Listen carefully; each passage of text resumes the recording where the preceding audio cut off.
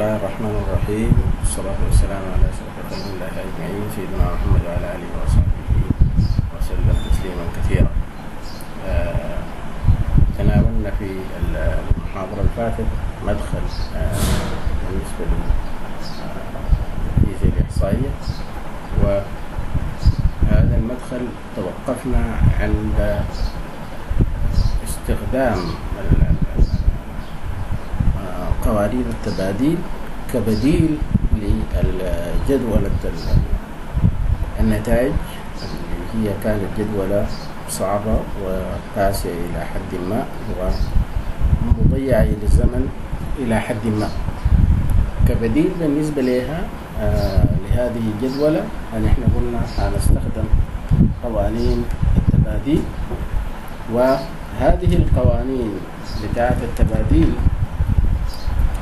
هي آه، في الحقيقة سريعة وبسيطة وسهلة الاستخدام على أساس أن الناس تتعامل معها. أفضل من آه، آه، من غيرها من ال- الطرق. وطريقة التباديل هي آه، أو قوانين التباديل معروف إنه التبديلات دي آه، هي آه، كل الترتيبات الممكنة على أساس إنه آه، تمكننا من الخروج بها لمجموعة من الأشياء. ال- هذا الخروج بتاع لمجموعة من الأشياء مع إهمال التكرار. وقوانين التباديل أن إحنا ممكن ناخدها في مجموعة من القواعد.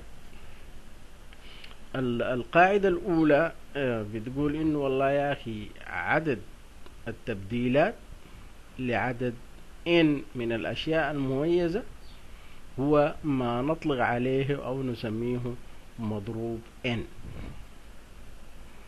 ومضروب n دي رياضيا أن إحنا بنعامله بهذه الصيغة باعتبار إنه مضروب n هذا الرمز آه، يسمى مضروب n ومضروب n ده بيساوي شنو؟ بيساوي n مضروبة جداريا في n ناقص واحد مضروبة في n ناقص اتنين إلى اتنين في واحد. وهكذا. فعشان نفهم المضروب بتاع n خلونا ناخد ال ال ال كمثال. عندنا إحنا ثلاثة أحرف A و B و C.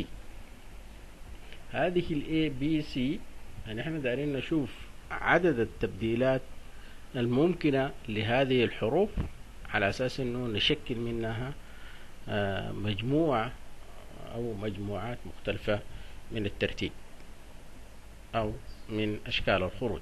فعلى أساس أنه أن إحنا نحسب التبديلات الممكنة من هذه الحروف خلونا على أساس أنه نسهل العملية دي نتخيل أنه إحنا والله يا أخي عندنا مجموعة بتاعت ثلاثة غرف فارغة. هذه الثلاثة غرف الفارغة هو نفس العدد بتاعنا بتاع مين؟ بتاع الحروف الثلاثة اللي نحن دايرين نرتبها اللي هي ال A وال B وال C. أول ما نحن على أساس إنه نبدأ نرتب حنملى واحدة من هذه الغرف بواحد من الحروف الثلاثة الموجودة عندنا A أو B أو C. فعلى أساس إنه إحنا نملأ هذه الغرف بواحد من هذه الحروف فبالتالي معناه نحن عندنا ثلاثة طرق لملء هذه الغرفة أو الغرفة الأولى. وبالتالي الغرفة الأولى دي إما تكون مملوءة ب A أو مملوءة ب B أو مملوءة ب C. فعلى حسب اختيارنا ده بيترتب عليه ملء الغرف الثانية. فإذا كان كمثال شلنا مثلا الحرف الأول اللي هو A ملينا به الغرفة الأولى. معناها الغرفتين الآخرات الأخر هما مملوءات ب B و C. فإذا كان ملينا الأولى ب A فبقى الغرفة الثانية متبقي لها حرفين. يا إما تكون تشقل بالحرف B أو تشقل بالحرف C. فبالتالي آه عندها طريقتين لملأة وإذا كان ملينا الغرفة الثانية ب B أو C فده بيخلي احتمالية واحدة لملء الغرفة الأخيرة اللي هو بالحرف المتبقي. فإذا كان كمثال آه ملينا الغرفة الأولى ب A فضل لنا الحرفين B و C فبالتالي الغرفة الثانية إما نملاها بالحرف B أو نملاها بالحرف C. فإذا مليناها بالحرف B فيبقى معناها فضل الاحتمال الأخير على أساس أنه نشقل به الغرفة الثالثة اللي هو فضل لنا الحرف C فقط. فيبقى الغرفة الثانية عندها واحد من احتمالين يا إما تتملي ب B أو C وإذا كانت ملت ب B معناها الغرفة الثالثة هي مملوءة ب C أما إذا كان الغرفة الثانية اتملت بالحرف C معناها الغرفة الثالثة هي حتاخد B فبالتالي التشكيل اللي بيطلع علينا من الترتيب الأول هو A B C. والتشكيل اللي بيطلع علينا من الاختيار بتاع الغرفة الثانية اللي هو حيكون A C B. فإذا كان الغرفة الأولى برضو مليناها بالحرف B فبالتالي فضل لنا واحد من خيارين لملء الغرفة الثانية اللي هي C أو A. وإذا كان مليناها ب C معناها فضل لنا A اللي هو حيشغل الغرفة الثالثة.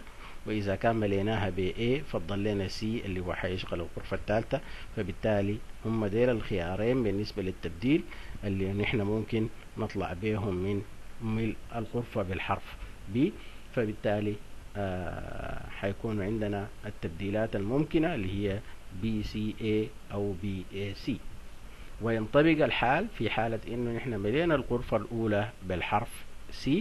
فالغرفة الثانية فضل لنا إنه نحن نملاها ب A أو B. فإذا ملينا الغرفة الثانية بالحرف A معناها ده يترتب عليه أن نملى الغرفة الثالثة بالحرف B. وإذا كان مليناها بالحرف B ده بيترتب عليه أنه نملى الغرفة الأخيرة بالحرف A. وبالتالي تبقى التبديلات الممكنة ل ملء هذه الغرف اللي هي حتكون عبارة عن بي أو اي فنلقى إنه والله يا أخي عدد التبديلات الممكنة كلها للترتيب بتاع أو ملء هذه الغرف بالثلاثة أحرف. تلقى إنه التوتال بتاعها أو المجموع بتاعها هي عبارة عن ستة تبديلات ممكنة لا غير. فإذا كان جينا وطبقنا في القانون مباشرة باعتبار إنه والله يا أخي قلنا القاعدة الأولى اللي هي إنه عدد التبديلات الممكنة هي عبارة عن مضروب العدد n.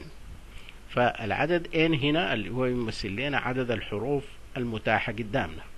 والحروف المتاحة قدامنا اللي هي ثلاثة أحرف A أو B أو C. فبالتالي حيبقى الناتج بتاعنا بتاع التبديلات هو مضروب ثلاثة ومضروب ثلاثة زي ما قلنا على حسب المفكوك بتاعه اللي هو عبارة عن ثلاثة في اثنين في واحد وثلاثة في اثنين في واحد الناتج بتاعه ستة واللي هي دي ستة الاحتمالات الممكنة للتبديلات أو ستة تبديلات الممكنة باستخدام هذه الحروف الثلاث. بالتأكيد الطريقة دي يمكن استخدامها لعدد أكبر من الحروف والأشياء المختلفة الثانية سواء كانت متطابقة ومميزة زي ما ذكرنا في المحاضرة السابقة.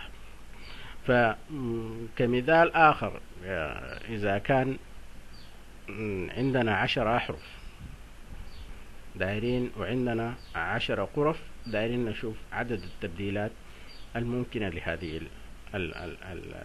العشر أحرف فبالتالي إذا كان عندنا عشر أحرف فهي بالتأكيد على حسب القاعدة بتاعت عدد التبديلات. بالتالي بدل الرقم ثلاثة هنا ليه؟ لأنه كان عندي ثلاثة أحرف. حيكون عندي شنو؟ حيكون عندي مضروب عشرة. ومضروب عشرة هو عبارة عن شنو؟ عبارة عن عشرة في تسعة في ثمانية في سبعة في ستة إلى في واحد. فبالتالي الناتج النهائي لهذه الحالة اللي هو حيكون مضروب عشرة. ومضروب عشرة ده اللي هو عبارة عن شنو؟ عبارة عن ثلاثة مليون وستمية تمانية وعشرين ألف وثمانمية. دي عدد التبديلات الممكنة لإجراء مجموعة من التبديلات لعشرة أحرف في عشرة خانات. ف آه بيختلف الأمر. ده إذا كان أخذنا التبديلات دي آه واحد واحد بيختلف الأمر إذا كان أخذناها ثنائيات أو ثلاثيات أو غيره أو إلى عدد خلونا نسميه R من المرات. فبيختلف الأمر في آه الإجراء بتاع التبديل. لما يكون شنو؟ لما ناخذ هذه التبديلات ثنائيات أو ثلاثيات أو عدد R في كل مرة. فكمثال خلونا ناخد المثال السابق ده زي ما هو. ف زي ما كان عندنا نحن والله يا أخي قبل شوية مجموعة بتاعت أحرف A B C ثلاثة أحرف. دايرين المرة دي ناخدها اتنين اتنين فقط في كل مرة. قبل نحن كان بناخدها حرف حرف يا إما A أو B أو C في كل مرة لكن المرة دي دايرين ناخدها اتنين اتنين حرفين حرفين. فبالتالي العدد بتاع التبديلات في هذه الحالة حيكون واحد من الثلاثة ديل أو مرادفاتهم. يا إما ناخد في الحالة الأولى AB أو ناخد AC أو BC فبالتالي إذا كان أخذنا AB برضو حناخد معاه شنو؟ حناخد المرادف له اللي هو BA وإذا كان أخذنا AC حناخد برضو CA وإذا كان أخذنا BC حناخد شنو؟ برضو CB فبالتالي برضو حيكون عندنا العدد بتاع التبديلات هنا ده الناتج حيكون عبارة عن شنو؟ عبارة عن ستة تبديلات. ومن القاعدة الثانية دي نحن حنستنتج إنه عدد التبديلات لأن من الأشياء المميزة مأخوذ منها R أو r في كل مرة باعتبار إنه r دي شرطها شنو؟ شرطها إنها تكون أقل من أو تساوي لمين؟ للعدد الكلي بتاع الأشياء اللي نحن ماخذين منها هذه الار فبالتالي الاحتمالية الحقيقية للتبديلات الممكنة دي اللي هي حناخدها بالمثال دي أو بالقاعدة دي باعتبار انه عدد التبديلات الممكنة اللي هنحن نرمز له ب n b of r واللي هو ده حيساوي شنو؟ حيساوي مضروب n على مضروب n ناقص r. مضروب n على مضروب n ناقص r. N في المثال السابق كانت عبارة عن ثلاثة. مضروب ثلاثة اللي هو زي ما ذكرنا لقيناه عبارة عن ستة. فبالتالي على مضروب n ناقص r. R يعني إحنا قلنا إن إحنا دارين ناخد في المثال السابق إنه ناخدين اتنين اتنين فبالتالي بقت n اللي هي بتلاتة ناقص اتنين اللي هي بواحد وبالتالي حيكون مضروب تلاتة على مضروب واحد. مضروب تلاتة اللي هو بستة ومضروب واحد اللي هو كان بواحد فبالتالي ستة على واحد الناتج هو ستة واللي هو ده برجعنا للاحتمالات اللي ذكرناها قبل شوية أو التبديلات اللي ذكرناها قبل شوية إنها هي إما A B بالتالي المرادف له اللي هو B A وإذا كان أخذنا B C حيكون المرادف له C B وإذا كان أخذنا AC حيكون المرادف له CA وبالتالي دي الستة تبديلات الممكنة على حسب شنو؟ على حسب القاعدة الثانية. في قاعدة أخرى اللي هي خلونا نطلق عليها مجازا نسميها القاعدة الثالثة واللي هي بتنص على أساس إنه عدد التبديلات لعدد M من الأشياء يتكرر فيها شيء محدد N واحد مرة ويتكرر فيها شيء آخر N اثنين مرة وشيء ثالث N ثلاثة مرة. حتى K من الأشياء بتكرار N K. بمعنى إنه أنا والله يا أخي عندي إن من الأشياء هذه الأشياء مثلا ممكن تتكرر في في المرة الأولى اثنين اثنين ممكن تتكرر ثلاثة ثلاثة ممكن تتكرر أربعة أربعة فبالتالي دي عدد التكرارات مرة مرة اثنين اثنين ومرة ثلاثة ثلاثة ومرة أربعة أربعة. وبالتالي القاعدة اللي بتحكمني هنا إنه والله يا أخي عدد التبديلات ده أنا بحسبه كيف؟ بحسبه من إنه والله بقول إنه هو عبارة عن المجموع أو السميشن بتاع مضروب n. لكن مضروب n ده مشروط. بمشروط بشنو بعدد التكرارات الممكنة اللي هو من i تساوي واحد إلى k. و k اللي هي قلنا عبارة عن شنو؟ عبارة عن الأشياء بتكرار n of k.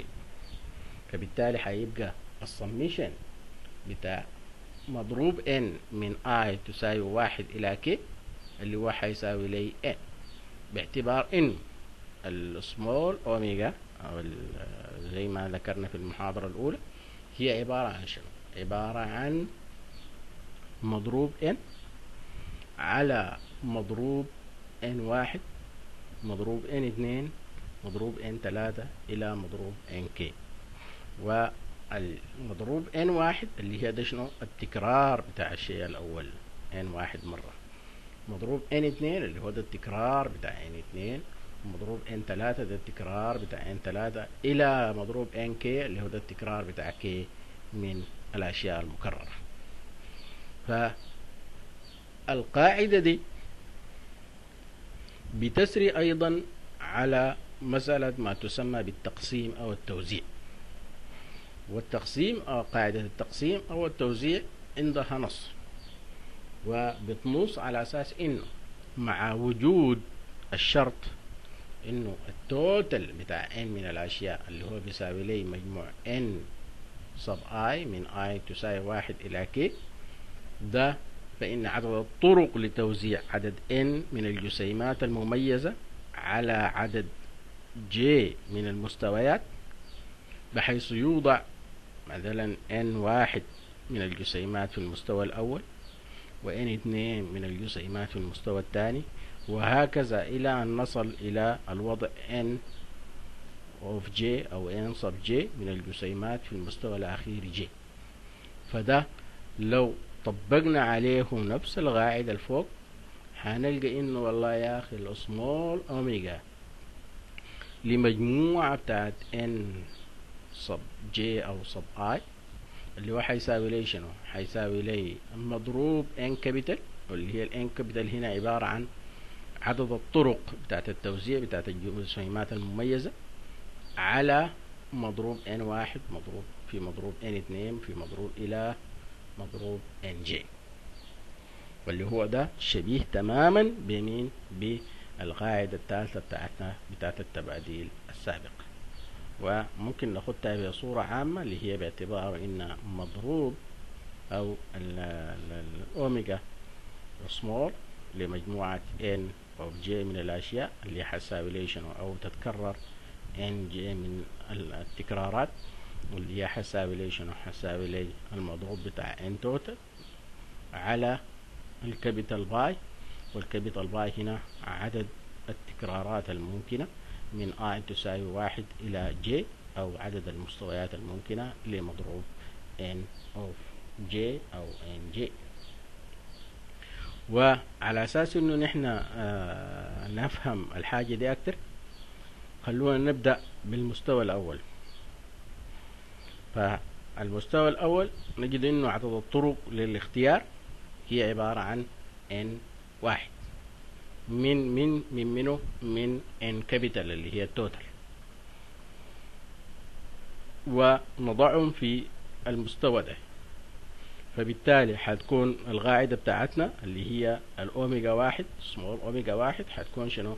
حتكون عبارة عن نجي نطبق مباشرة في القانون هي عبارة عن مضروب n capital اللي هي دي الحاجة بتاعتنا الرئيسية أو اشياء ان إحنا هناخد منها. n واحد من التكرارات. هيكون مضروب n capital على مضروب n واحد. هيكون من ال n واحد دي فضل لي شنو؟ هيفضل لي n ناقص n واحد من المرات. فال total كله n capital وشلنا منها n small واحد. فبالتالي هيبقى العلاقة بتاعتنا اللي هي مضروب n capital على مضروب ان واحد في مضروب ان كابيتال ناقص ان واحد. ده اللي هي دي التكرارات اللي حنملى بيها مين؟ حنملى بيها المستوى الأول. لما نجي للمستوى الثاني برضو بعد ده العدد بتاعت الطرق بتاعت الاختيار اللي حتكون محكومة بيمين بعدد طرق الاختيار n 2 already نحن خصمنا n واحد من العدد الكلي n. فبالتالي حيكون ال n 2 دي مختارة من مين؟ مختارة من n ناقص n واحد. فبالتالي بدل n هنا capital حيكون عندي n ناقص n واحد. مضروب n ناقص n واحد بدل n capital هنا في الأول. وفي المقام حيكون عندي شنو؟ بدل n واحد هنا حيكون عندي n2 أو مضروب n2 وبدل دي حيكون عندي شنو حيكون ناقص n2 حيكون ناقص n2 فبالتالي ده شكل العلاقة بالطريقة دي.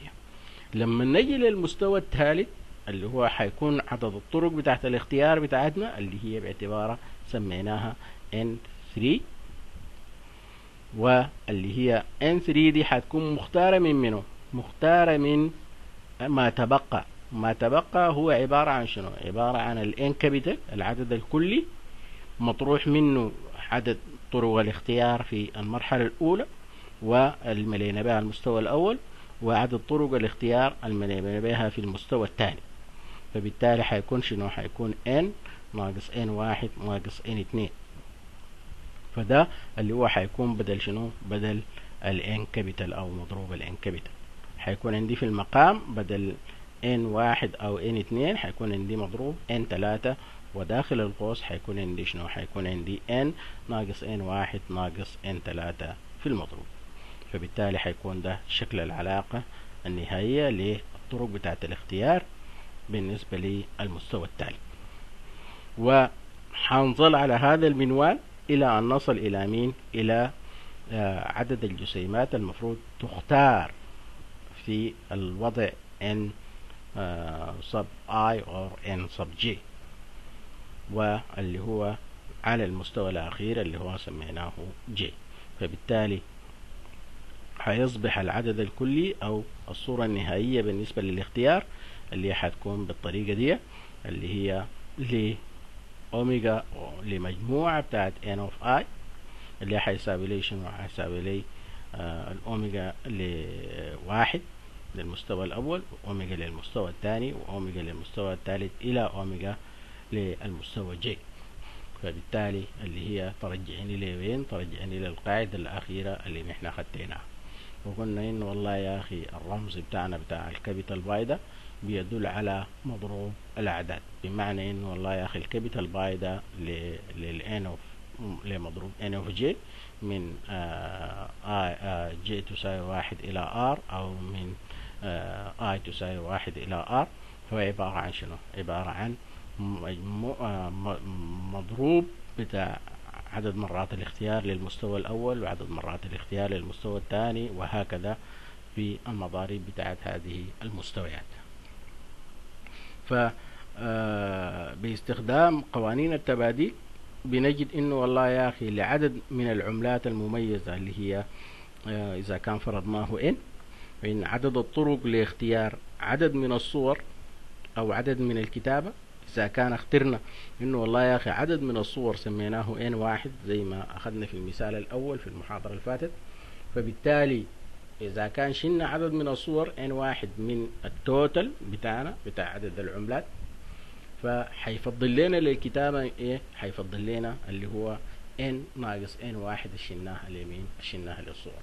فبالتالي حيكون ال omega of k اللي حيساوي لي شنو حيساوي لي مضروب n على مضروب ان واحد في مضروب ان ناقص ان واحد. فإذا كان رجعنا للجدول الأول بتاعنا حنلقاه إنه متوافق تماما مع القيم بتاعت الأوميجا أو السمول أوميجا فأرجع وشوف وقارن الجدول الفات مع أو الجدول بتاع اللي أخذنا فيه المثال في المحاضرة اللي فاتت عن الأربع عملات اللي هي كانت متطابقة ومميزة. فأستخدم القوانين بتاعت التباديل للحصول على السمول أوميجا. في حالة إنك أنت كنت مستهدف الحصول حالات الحدوث بتاعت الحدث صورة أو حالات الحصول على الحدث كتابة. فبنجد انه والله يا أخي كذلك زي ما ذكرنا في نهاية المحاضرة السابقة إنه حنجد بتطبيق القوانين بتاعت التباديل حنجد إنه أو القواعد بتاعت التباديل الثلاثة اللي ذكرناها دي حنجد إنه والله عدد الحالات المجهرية آه للتوزيع بتاعتنا بتحصل 200 لما الاحتمالية أو عدد التوزيعات بتاعتنا بتاعت ان واحد تساوي لي ان اتنين واللي هي في النهاية حتساوي لي زي ما قلنا في المحاضرة الفاتت إنها هي ان اوفر 2 واللي هي دي آه ما نسميها بالتوزع الأكثر احتمالا. التوزع الأكثر احتمالا. يعني آه لما تجي تشوف ال omega small of k maximum هتلقاها زي ما قلنا المرة اللي فاتت لما كانت شنو؟ الاحتمالية بتاعت حالات حصول الحدث صورة وحالات حصول الحدث كتابة كانت متساوية واللي هي كانت بيساوي لي المجموعة الكلية على اتنين و آه في نهاية هذه المحاضرة آه كواجب منزلي على الطلاب آه إنه يرجعوا يتحققوا من الجدول الفات زي ما ذكرنا اللي هو الجدول بتاع الأربع عملات. نطبق فيه الثلاثة قواعد بتاعتنا بالأخص القاعدة الثالثة الأخيرة دي على أساس إنه نتحصل على الأوميجا small omega ودي أخذناه المرة اللي فاتت لحالات حدوث الحدث صورة. فأتحقق منه من القيمة بتاعت small omega لتجربة الأربع عملات قلنا باستخدام العلاقة الأخيرة الفايتة دي.